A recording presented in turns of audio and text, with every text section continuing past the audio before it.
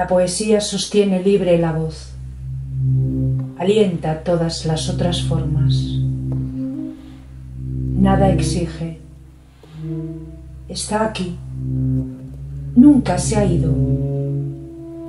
Con el infinito a cuestas, fiel a la memoria de los pueblos, al relámpago, une lo posible con lo imposible. Nos contempla, escuchando las estrellas al borde de la noche, vigila mientras dormimos. Nos sirve la flor arrancada de las cenizas. Limpia cuando el poder corrompe. Con asombro antiguo nos revela la inocencia y despertamos.